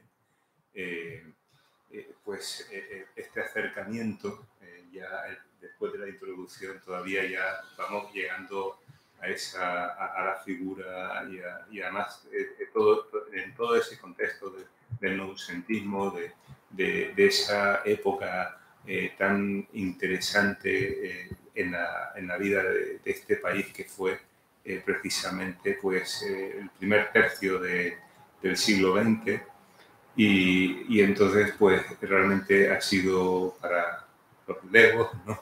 me imagino que ahora ya harán otra, digamos, otros comentarios, ya los he entendido, pero ha sido muy interesante eh, y, vamos, y, y, que además apunta a, continuar con mayor interés el ciclo de Flora. Eh, pues si acaso, eh, pues Flora, abrimos un, coloquio y, y, tienen ustedes la palabra. Es algo que tú, es algo que Flora quiera hacer ya algún comentario.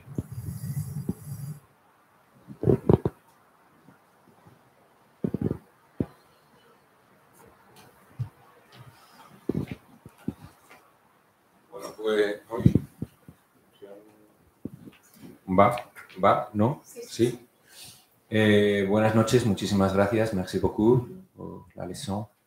Para, por la lección. Eh, primero, eh, quería preguntar, a ver si conoce al japonés, porque a lo mejor encontramos, encontramos la clave y a lo mejor encontramos una sorpresa de Rubio Tudori en Japón. Podría ser, ¿eh? siguiendo, siguiendo el hilo. Y eh, no sé si podría, eh, estoy muy interesado en, los sistemas, los sistemas de jardines. Eh, usted ha hablado de, del, libro de, de, Forestier de 1906, creo que era ese año, sobre los sistemas de espacios verdes que, que construyen, constituyen sistemas, sistemas de espacios verdes. Eh, no sé si podría, no he leído el libro, entonces no puedo siento, no lo he leído, Flora me, estará pegando tal, pero no, lo he leído y querría saber si eh, existe un enfoque también eh, sobre el sistema ecológico en el que se inscribe eh, como contenido o como complemento, no solamente como un sistema cerrado, sino como un sistema conectado a, a lo que sería un sistema ecológico en el que se escribe o que inscribe un contexto urbano.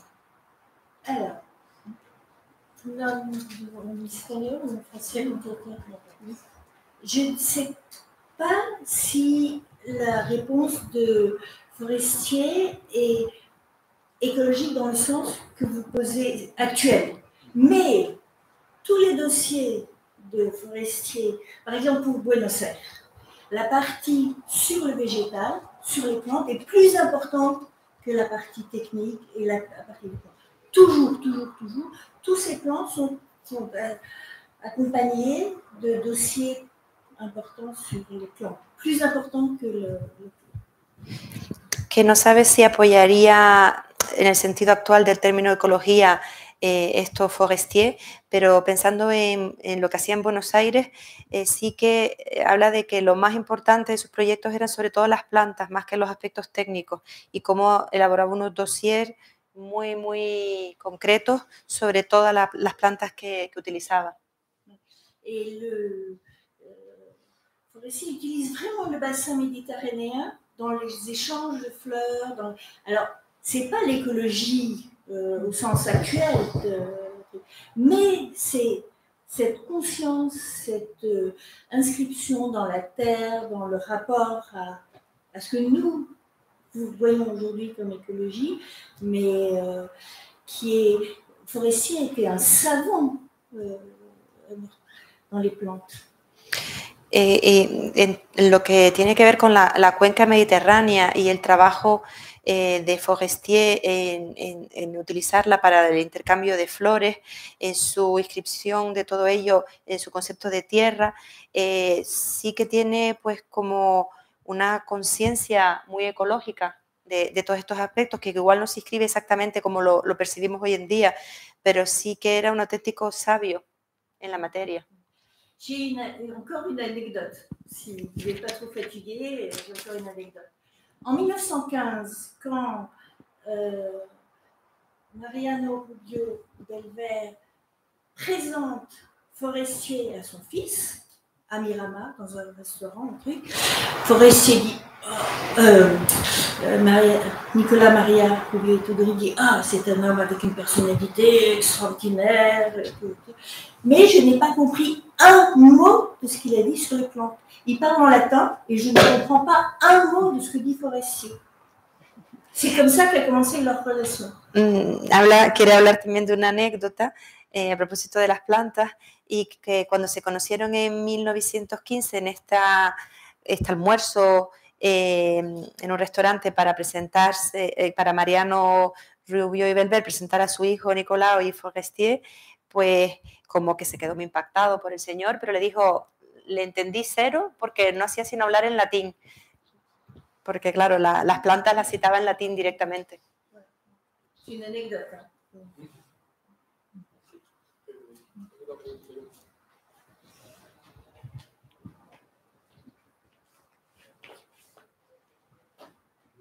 Buenas tardes. Eh, felicidades por su conferencia que me ha resultado interesantísima. ¿no? Creo que me está entendiendo en español, ¿verdad? ¿Vous, comp- vous comprenez? Vale. Eh, mi pregunta incide en lo que acaba de preguntar Jim, Jim.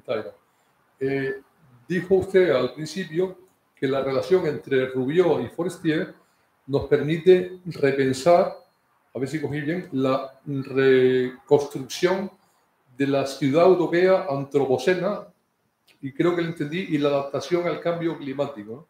Si, entendí bien, quisiera pedirle que abunde un poco en, esto de la reconstrucción antropocena. ¿no? Mais c'est, pour ça que je remercie euh, Flora et, et notre président, parce qu'il repose, le fait de, de créer ce cycle sur Rubio va permettre de reposer la, la,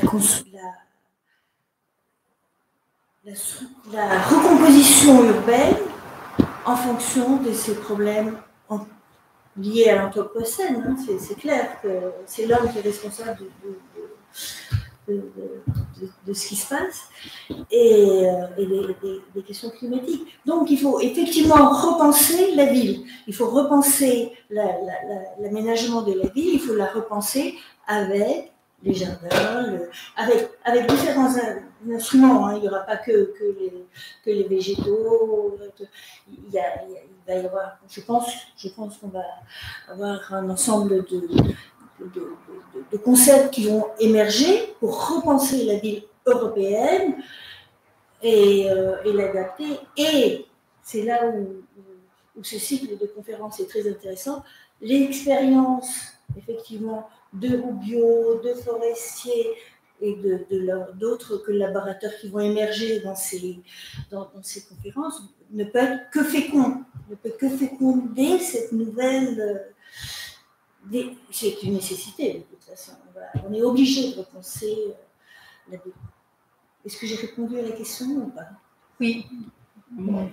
Eh, mm, es por eh, la pregunta, pues me parece muy buena y es por lo que agradezco a Flora y al presidente eh, la, su invitación a este ciclo sobre Rubió, pues para que hagamos una recomposición o nos replantemos lo urbano que está vinculado a lo antropoceno, pues porque el hombre es el responsable de todo lo que está pasando con, la- con las cuestiones climáticas.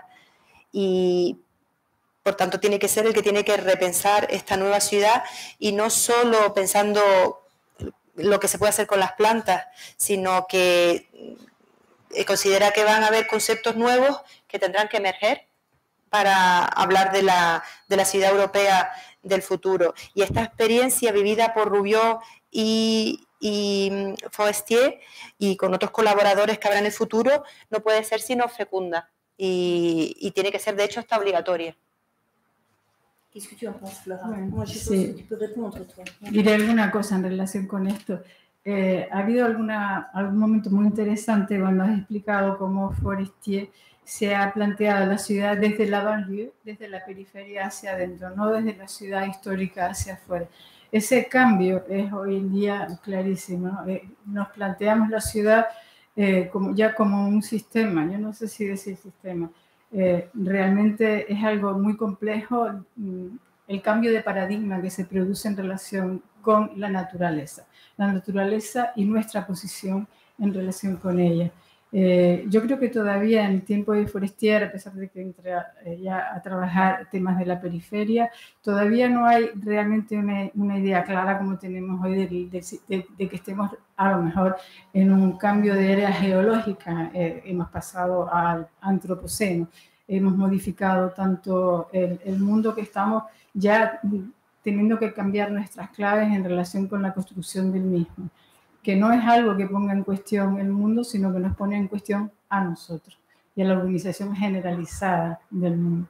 Yo creo que eso ha cambiado muchísimo. El primer paso para mí que tiene interés en todo esto es cuando Forestier se plantea eh, la urbanización a partir de lo que pasa en su periferia hacia la ciudad y no al revés, desde la ciudad hacia afuera. A pesar de que es un gran defensor de, de- de los parkway como Olmsted, de la organización en tejido de la ciudad, de la fuerza de la naturaleza y cómo introducirla hacia el interior. Hoy la pregunta, en todo caso, sería, ¿cuál sería nuestro paradigma de naturaleza si está en cuestión? Yo creo que eh, ha cambiado muchísimo. Ya no pensar en una organización todavía del tipo geométrico, como, podemos ver en muchísimas eh, intervenciones de Forestier, de cómo la geometría organiza su mundo y la organiza con fuerza. Es francés. Sí, es très francés. français. eh, tradición francesa, una, sí, una relación fuertísima. Eh, hoy, eh, digamos que un planteamiento como ese eh, podría, igual es posible, pero si no lo relacionas con, los, eh, con, digamos, emulando a la naturaleza en relación con el agua, en relación con la energía, en relación con la vegetación, en relación con un montón de cosas que ya sabemos, no lo vamos a tener claro. Sin embargo, Forestier, en mi, en mi opinión, sí que era una persona preocupada por el clima, muy preocupada por el clima, es decir, él pensaba el lugar también desde el punto del clima, desde el punto de vista de la vegetación apropiada para ese clima, desde el punto de vista del agua, cómo funciona el drenaje del suelo, cómo funciona el agua en, en esas intervenciones y por tanto ya empieza a tener, digamos, conceptos muy actuales a la hora de intervenir en el territorio. Y por supuesto la vegetación.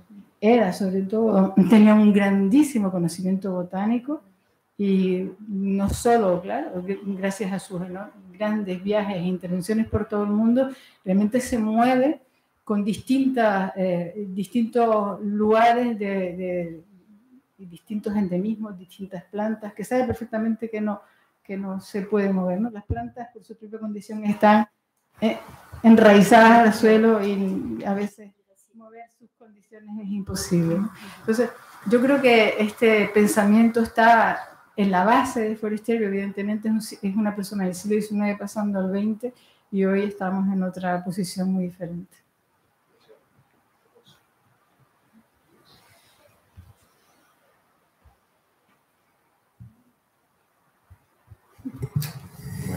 Muchísimas gracias, Benedict. Eh, muchas gracias, Flora. eh, y muchas gracias a ustedes por, haber, por esta segunda sesión, por asistir a esta segunda sesión y hasta muy pronto. Eh, buenas noches.